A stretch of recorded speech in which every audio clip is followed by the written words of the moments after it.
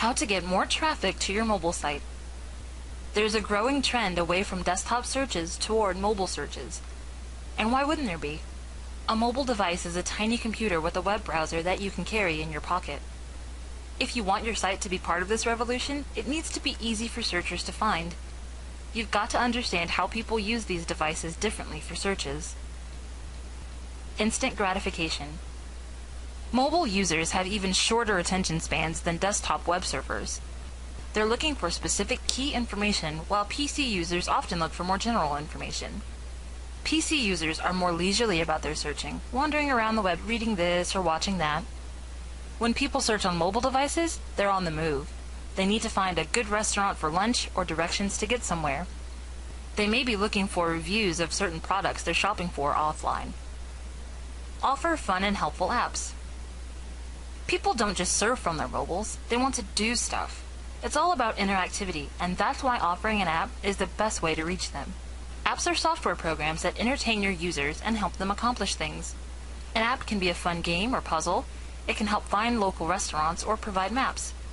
The idea is that your app is something they'll use every day, which means they'll be in constant contact with your brand and they'll be constantly seeing your link. If your app is a success, you'll get lots of traffic from it. Strengthen your media presence. One of the main things people are doing on their mobiles is socializing. Social media use on smartphones has been on the rise and is predicted to keep on rising. The most popular sites are Facebook and Twitter, both of which are creating more apps and features for mobiles. Other sites like Instagram, which lets you edit and share photos, are also heavily used. If you want more traffic from mobiles, strengthen your social media presence. Optimize your profiles on Facebook and Twitter and get into the routine of posting updates, commenting, and creating content. Make all of the content on your mobile site easy to share with buttons and widgets. If a visitor likes something on your site, they can instantly share with their social media friends. Go code crazy. Another way to drive traffic to mobiles is to use QR codes.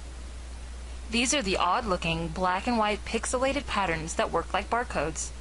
When a QR code is scanned by a mobile device, it redirects the device's browser to your website. This is quicker and more convenient than entering a URL or clicking a link. There are lots of creative ways you can use QR codes by plastering them all over your promotional materials. Right now, lots of businesses see the mobile internet as a sort of passing fad, but it's definitely here to stay. In the years ahead, tech experts predict that mobile searches are going to pass up desktop searches. Don't be one of the businesses that fall behind. Get your mobile going.